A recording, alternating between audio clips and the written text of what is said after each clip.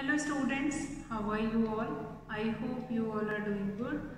Since children, uh, we have finished with our chapter 8 that is wind, cyclone and windstorm and cyclone. So today we will be starting a chapter 9 that is soil.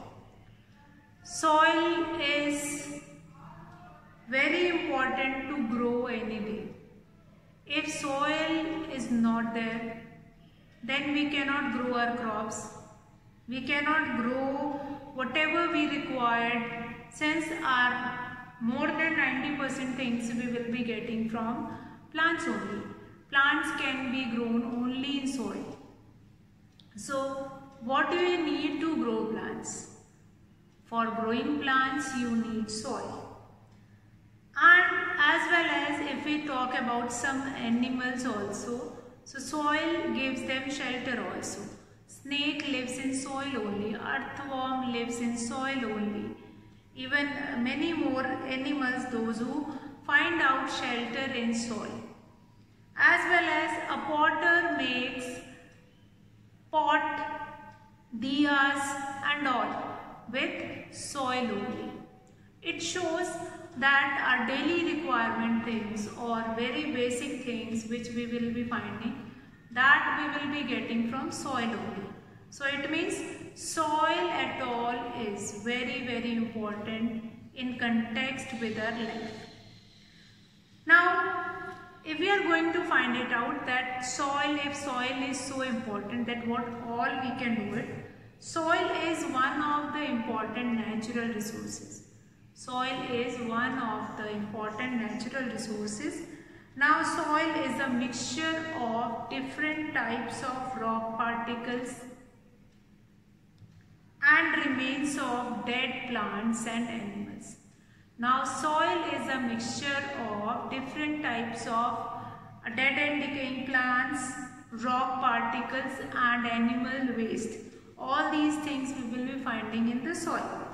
Now soil is found all around us that is in garden, school playgrounds, at the park, at construction sites and also in field.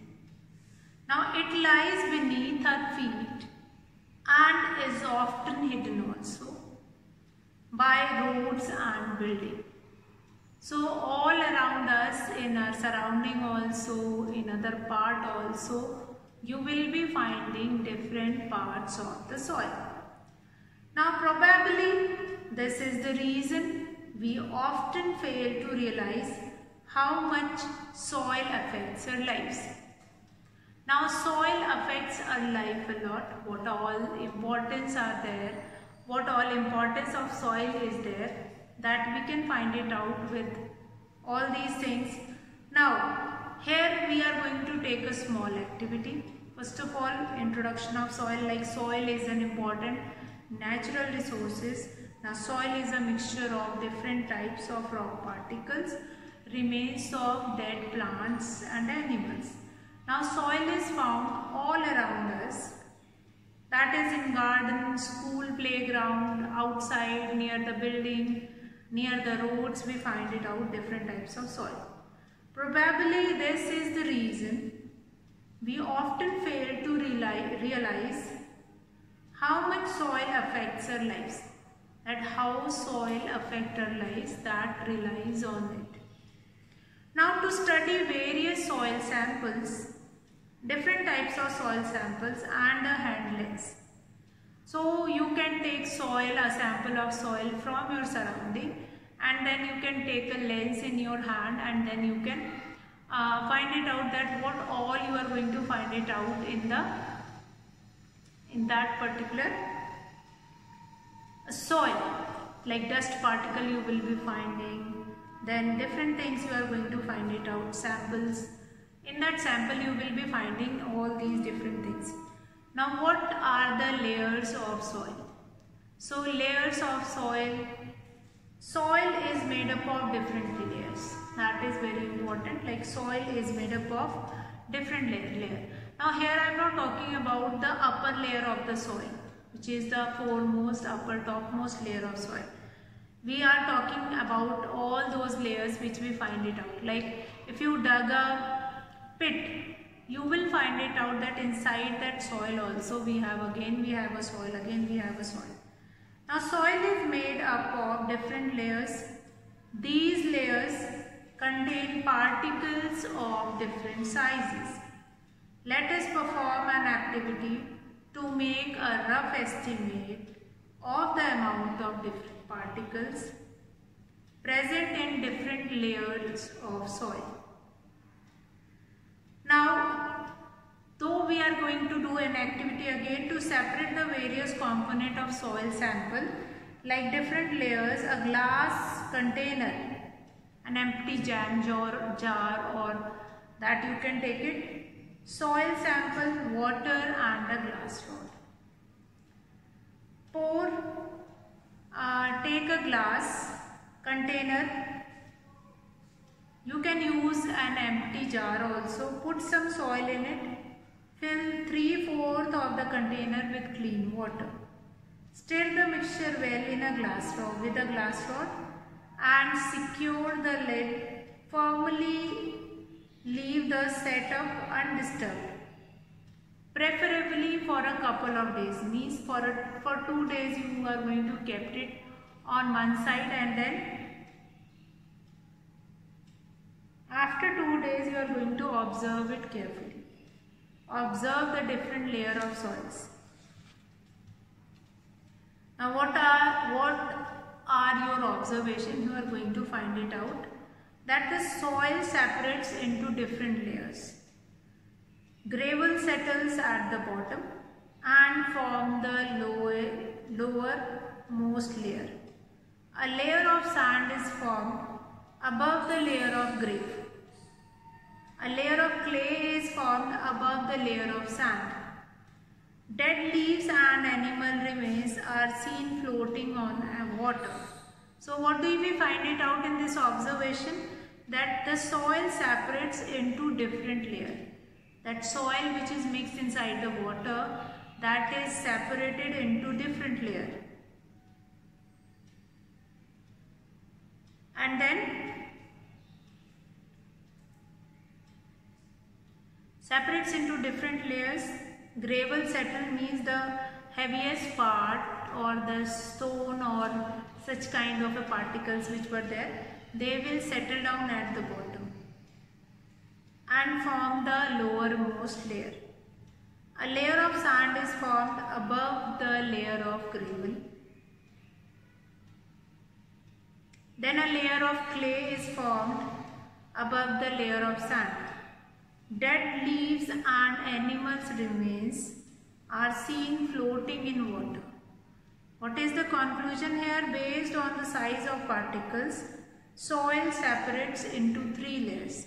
That is gravel or grave, gravel, sand and clay. So here what we find it out like this activity you will be taking a beaker.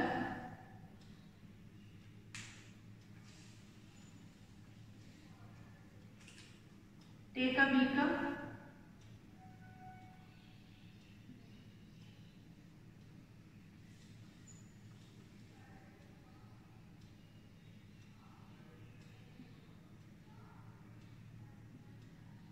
3 4 filled with water and then mix with it you are going to mix uh, some sand in it. And then stir with a glass rod stir with a glass rod and then what you find it out after some time layers will be forming inside it. Layer. Now the lowermost layer is gravel. The lowermost layer is gravel.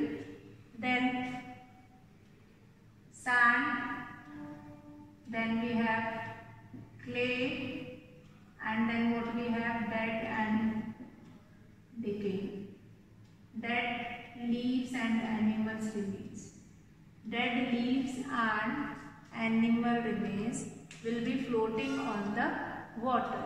So here sand is mixed, here soil is mixed with water which will be forming layers. forming layers.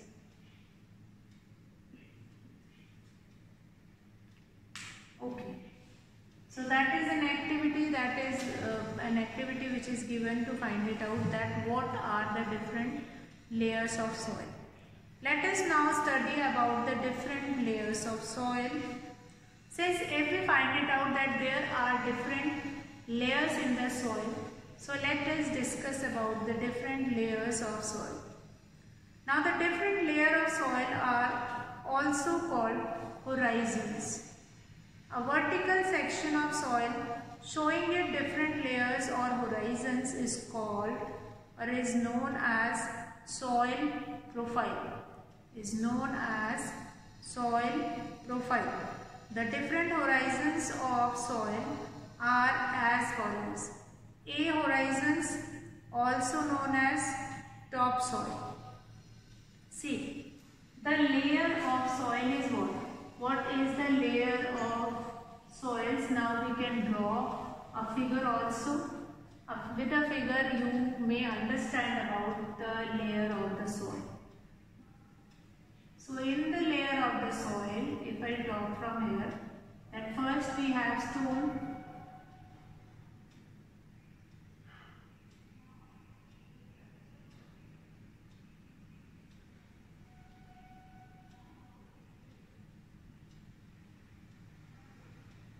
stones we have stones we have then we have or we called it bedrock.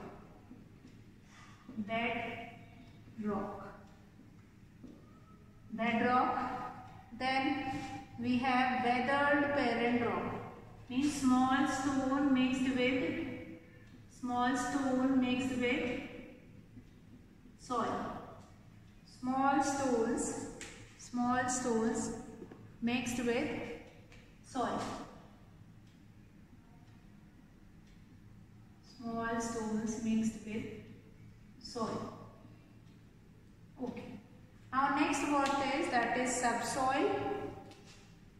Subsoil we have next is okay. What is the name of this layer? What is the name of this layer? That is weathered parent rock. Weathered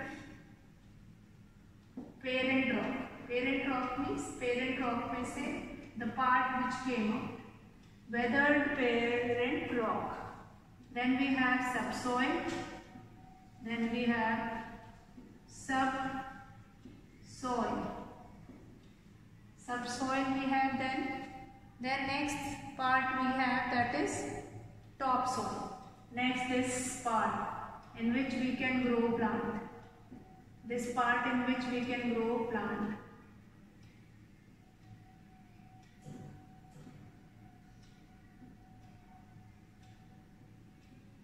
In which we can grow plant.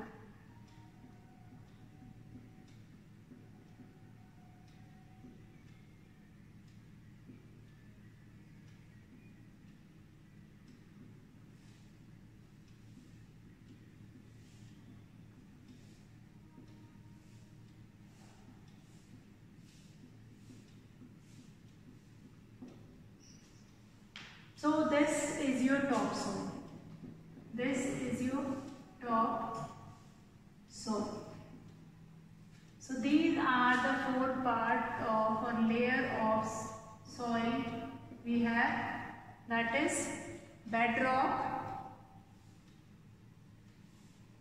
different layers of soil that is bedrock, then weathered parent rock. Weathered parent rock means due to a certain weather like sometime flood has came or sometime uh, earthquake or sometime certain reasons due to wind or water uh, when that the parent rock get uh, demolished or that will be breaking into small stone part or small part that is known as weathered parent rock means that small stone which came out from that one common that rock. So this complete layers are known as horizon. The different layers of soils are also called horizon. So collectively that different parts are known as horizon. Horizons. Fine. So this uh, topsoil, then subsoil, weathered parent rock and bedrock. These are collectively known as horizons. These are collectively known as horizons. Now a vertical section is this we can understand from this. Now one by one we are going to understand the further part like topsoil or a horizon. The top layer of the soil is called a horizon. Now top layer that is topsoil is known as a horizon. Some characteristics of topsoil is given as follows. Now topsoil is rich in humus, it is rich in mineral needed by plants for their growth. Number three, it is soft. Topsoil is porous so that the plants can breathe in. It is darker than other layers. It can retain or hold more water. A horizon is the home of many living organisms like insects and worms. The roots of plants grow in this layer of soil. So topsoil is the most fertile soil. Even in the agriculture, they uh, cultivating their crop, they are using only that topsoil only or that is known as A horizon. A horizon is the topsoil. A horizon, other name of topsoil. If it is asked that what is a horizon soil then the answer will be or a what is a horizon that is your topsoil topsoil is your a horizon only and top layer of the soil which is known as a horizon is the most fertile soil most fertile soil now topsoil is rich in humus it is rich in minerals needed by plants for their growth now it is soft, topsoil is porous, it is darker than other layer. It is darker than other layer. Now it can retain or it can hold more and more water. A horizon is the home of many living organisms like insects and worms. The roots of plants grow in this layer of soil. Now subsoil, second part that is A part horizon, A horizon is your topsoil which is very important in, uh, in the context with agriculture. How a farmer grow their crops in such kind of a soil. So that is very important. If we will talk about that particular part, so that is very important like this particular part is very important. So layers of soil that is topsoil which is also known as a horizon and some characteristics also we have done like it is rich in humus, it is very soft and porous, it is rich in mineral which is needed by plants to grow, it is darker than other layer, it can retain hold more water. Now a, a horizon is the home of many living organisms like insects and worms. The roots of plants grow in this layer of soil. The roots of plants grow in this layer of soil. Now number two. Number two is what that is subsoil. Number two is subsoil. Now it is uh, known as B horizon lies just below the topsoil. So this B horizon lies just below the topsoil. It has a very small population of living organism and it is less fertile. This type of soil is less fertile, less fertile as compared to A horizon. Now some characteristics of subsoil are mentioned as follows. Now it contains comparatively less amount of humus. It is rich in minerals. It is generally harder and more compact than topsoil. It is lighter in color because of the presence of less amount of humus. So B horizon lies just below the topsoil. It has a very small population of living organism and it is less fertile as compared to A horizon. Now some characteristics of subsoil are mentioned as follows. Now it contains comparatively less amount of humus. It is rich in minerals. It is generally harder and more compact than topsoil. It is lighter in color because of the presence of less amount of humus. It contains uh, less amount of humus also. Then the next is weathered parent rock that is known as C horizon. C horizon is what this layer of soil is just below the B horizon. It is made up of small lumps of rocks. These rocks have cracks in them formed due to weathering of bedrocks. Now bed rocks or breakdown of soil into small particles by the action of water and wind is called weathering. Now weathered is very important like weathering uh, first if you have to understand weathered parent rock you must understand what is weathering. Weathering means due to breakdown of rocks into small particles by the action of water and wind is called weathering. By the action of water and wind, uh, the rocks or the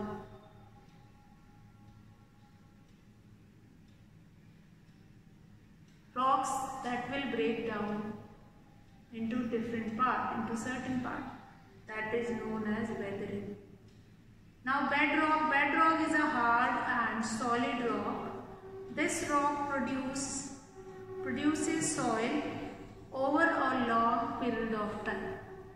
Over a long period of time. Long period of time. Bedrock is a hard and solid rock. This rock produces soil over a long period of time. Now what are the different components of soil? What are the different components of soil? That is soil is made up of different sized of rock particle. Now uh, let's see what is the different uh, component of soil. Due to wind, due to rain, due to uh, weather changing. So why is that so?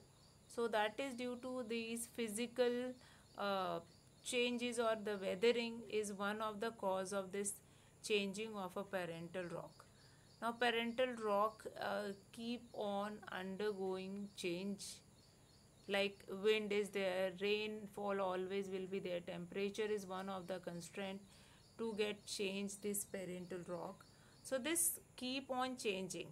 Like uh, what is there in that parental rock or what is there in that? Characteristic is same of both parental rock and then the uh, the rocks particles which we uh, get it after uh, deteriorating or uh, decaying of that soil that will be same.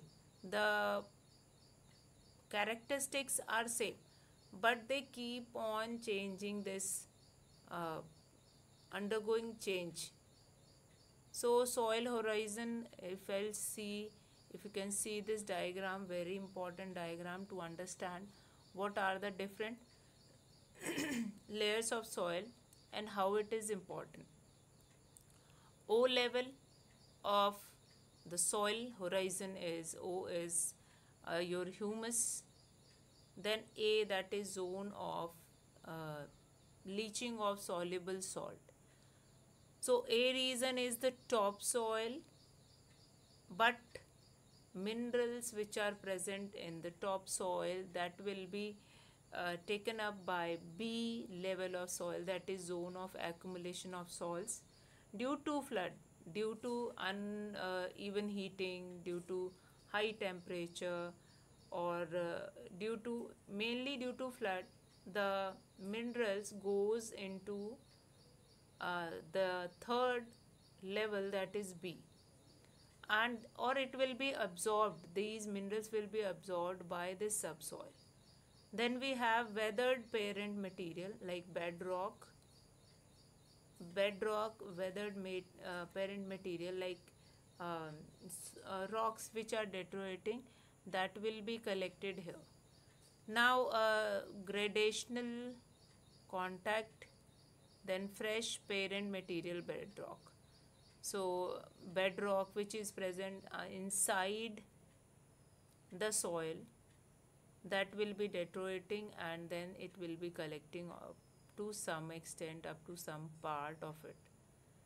And then we will be getting this fresh parent material rock. So these are the certain uh, certain uh, layer of soil or a picture of soil which will help you to understand how uh, different layers we will be finding in soil like humus humus contains all the dead and decaying plants and dried leaves and all that we will be getting then a part or the a layer of soil that is zone of leaching of soluble salt that is topsoil. Now zone of accumulation of salt that is subsoil that is all the mineral was soaked by this B layer. So here again one picture which will help you to understand layers you can see in this soil clearly. First that is dark green layer that is containing humus that is dead and decaying plants some parts of uh, like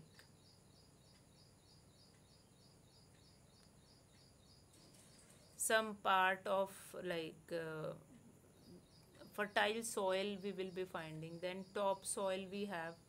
Now top soil is what? Top soil is like